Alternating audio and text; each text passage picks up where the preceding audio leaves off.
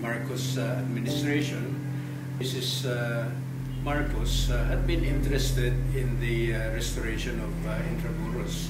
Uh, she uh, uh, led the restoration of some of the gates of Intramuros. Mrs. Marcos got the engineering divisions of the different services of the military.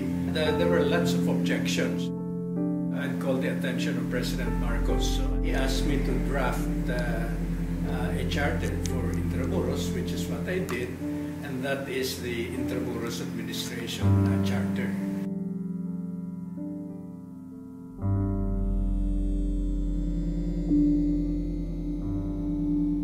Uh, the greatest satisfaction I had was uh, the presence of a good team uh, headed by uh, Mrs. Esperanza Gatbonton and uh, in the early days uh, also Felix uh, Imperial because basically the three of us were the ones who set the initial directions of the Intramuros administration.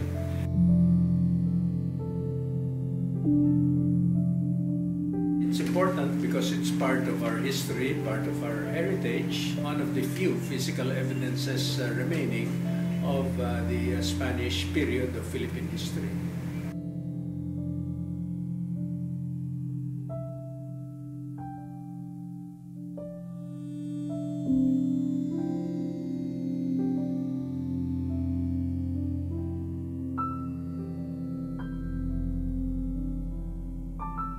Think uh, the major development uh, since uh, that time uh, was the proliferation of informal settlers.